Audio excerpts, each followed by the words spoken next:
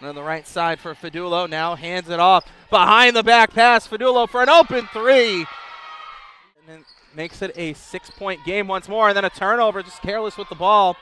And easy the other way for the lay in for Sanchez. Taking it.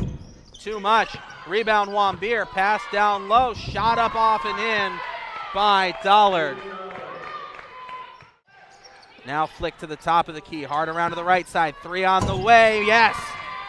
As the Golden Knights lead by six. Bounce pass. Groutman picks it off. She was in front the whole way. Kicks the pass back to the right corner. Now in down low. Back to the outside. Another three. Money. And the rebound, Groutman. Live by the three, die by the three.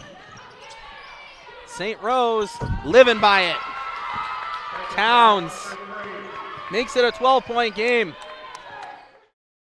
Slash hockey tickets as St. Rose strips the inbound pass, and the lay in is good for Towns, and that should do it.